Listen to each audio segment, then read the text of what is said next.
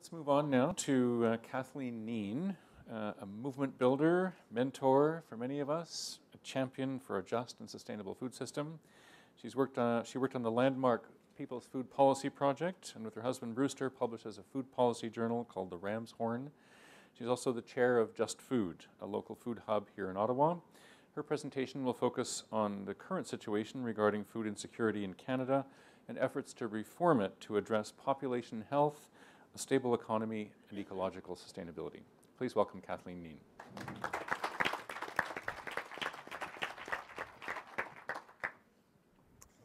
Well, thank you. Um, I have a dear friend who said to me not long ago, You know, I get up every morning and I say, Dear Creator, may this be a day when I do not have to learn humility again. And I have discovered lifelong learning. I learned um, a, new, a new thing again this morning. That is, don't make assumptions. Um, I had made an assumption that there would be a PowerPoint here. I didn't check with anybody. I just made that assumption. I'm in, I'm in a university. Of course, there's PowerPoint. Well, there isn't. Um, so that's interesting. I changed a little bit of what I was going to say. I also made the assumption, so technology isn't necessarily there when you need it, is the assumption, okay? The take home message. The other take home message is that systems don't necessarily work when you expect them to. Brewster and I waited at the bus stop and waited and waited and waited and finally did plan B and got here. But uh, now systems aren't always reliable. So I'm supposed to be talking about um, food insecurity and the Canadian food movement. And listening to Terry reminded me that, um, well, I'm a, I'm, the reason I wanted to, to have the PowerPoint was because I'm a very visual person. And I tend to think in pictures and metaphors, and I wanted to show you some pictures. I, I may describe a few of them.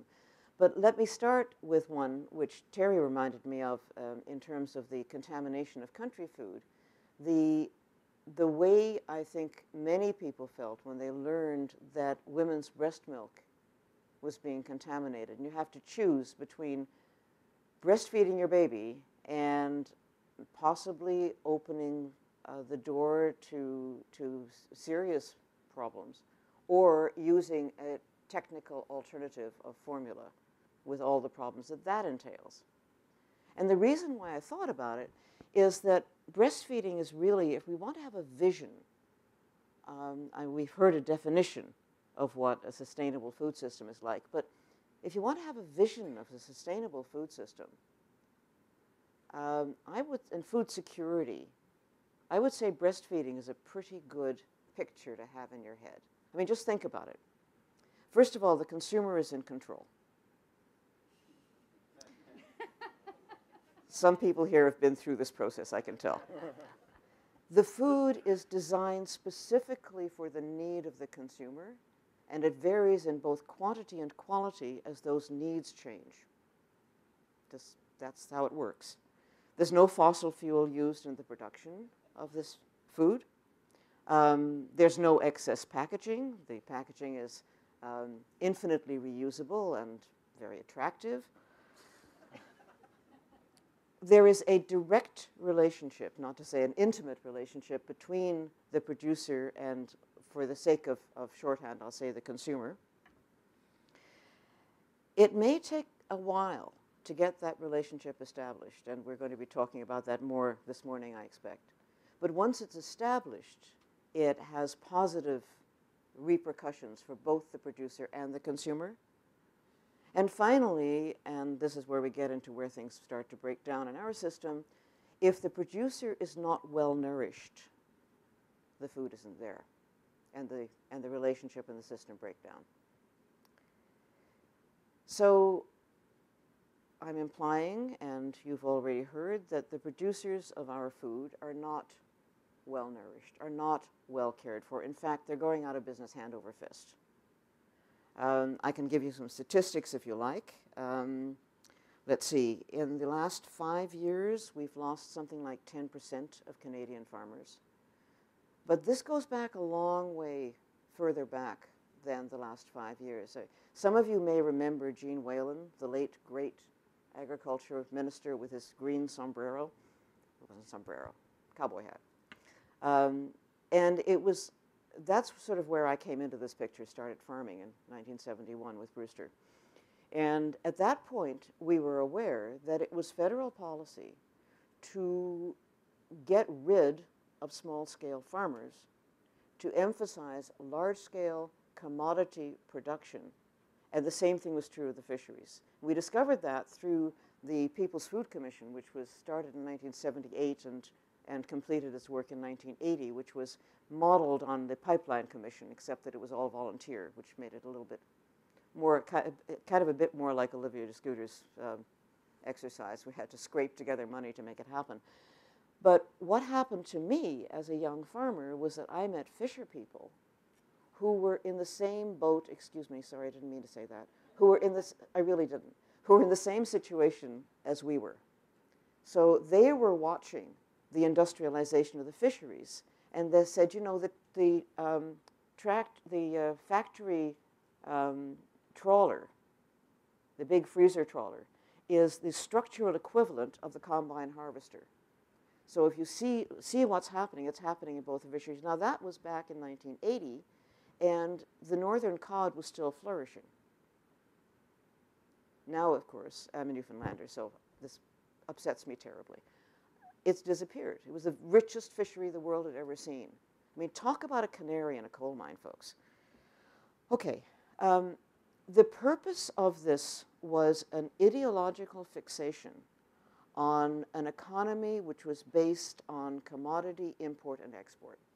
And so Canada was to export uh, red meat, fish, and grain, and import everything else. And the assumption behind that is that it doesn't matter where it comes from. It's kind of like the assumption, and God help me, I remember as a young farmer before I knew, because I wasn't trained as a farmer, I came into it from, from town, I was a townie. Um, this, I, I actually remember hearing myself saying, well, the plant doesn't care where it gets its molecule of nitrogen, potassium, or, or um, phosphorus from. Uh, I was really, really wrong. The plant cares a great deal. And actually, if you want to pick up the latest issue of the Ram's Horn, there's a lovely article in there that um, explains something of, of how, what's the manner in which the plant cares. But it also matters where our food comes from.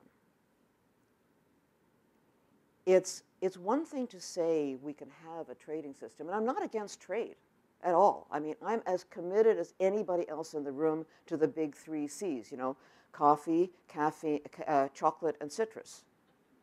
So I want trade. But if we are not able to provide the basic foods that the population requires, any jurisdiction that can't basically feed its people is at the mercy of whoever does. So if we're really interested, I mean, let's, let's get patriotic here. If we're really interested in having a country called Canada, which has the potential to be actually a democracy, as has been eloquently discussed earlier, where the people who live in the situation have the opportunity to make the decisions governing their lives, then we have got to be able to feed ourselves. We have to have a food system which enables us to feed ourselves. And we don't have it now. As I said, we've not only lost all these um, um, farmers and fisher people, We've also, again, as, has, as has been pointed out, we have massive food insecurity in this country. I mean, it's really crazy. The, in, shortly after the People's Food Commission, it was in 1981 that the first food banks were created. And I remember it well because it was one of those short-term stopgap things. 10 years max, we'll have this one licked. But right now, you know, we need to have food banks where people can put in food and people can take out food. That was kind of the image. Food banks are now a part of the industrial food system, and I call it industrial because it's based on, on the, the manufacturing process. You know, it's, it's efficiency and speed and, and um, single way, one way flow. And that's where you see the food comes from here and it goes over there and it's got to go over there. So if it doesn't go, if it doesn't get sold out of the supermarket or from the distributor, then it goes into the landfill or a surrogate landfill, which is the hungry. That's how the structure works. And if that sounds disgusting, it's because it is disgusting. Um, the other piece of the, of the commodity shift, of course, again, as has been, has been referred to, is that the whole system is now controlled by a shrinking number of very large corporate actors. And one of the drawings I was going to show you, as I do these drawings for the Ram's Horn, shows um, two figures holding a skipping rope, and the globe is, is, is doing double, double uh, Dutch skipping. And the skipping rope, one is labeled Monsanto and the other is labeled Cargill. So the world's largest grain trader and the world's largest seed company and also biotechnology company. So left out the agrotoxins for the moment, but they're back in there in the background.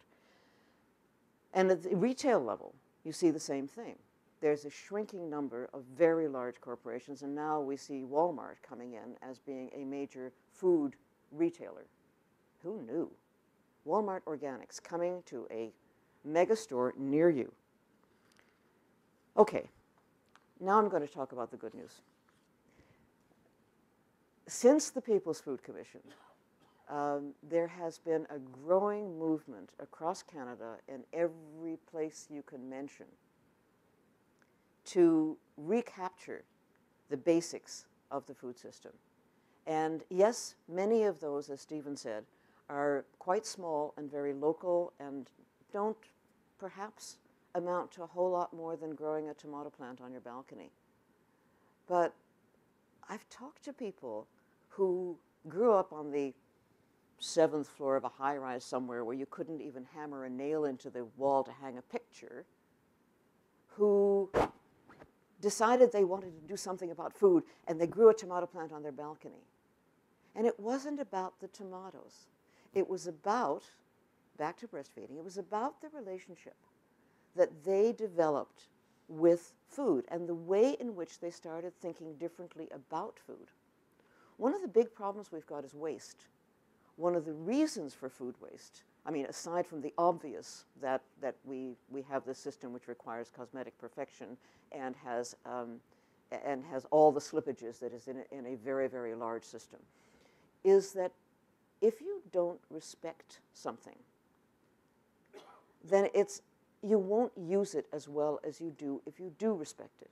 If it's been hard work to get there, then you have more respect for it. And so, in the same way as, as a potter, I found that people who had tried to make pottery really appreciated my pottery. Um, people who've tried to grow food really appreciate food and will not waste it. They will care for it and they will actually, surprisingly, pay more for it because they see the value in it. So these little efforts to reclaim tiny pieces of the food system have potential to change the whole system on the basis of a completely different vision because it's developing different kinds of relationships. Now, that doesn't mean that we will tomorrow get rid of Walmart Organics. We won't. But it does mean that we have the potential to, to see the building blocks, if you like, of a different kind of system and put them in place. One of the pieces of those building blocks, of course, is policy. Um, it's all very well to, to do this at the grassroots level. We also have to change the way in which government and business does business. That's called policy. And in most of my experience as a community organizer, I found that when I say the word policy, people go,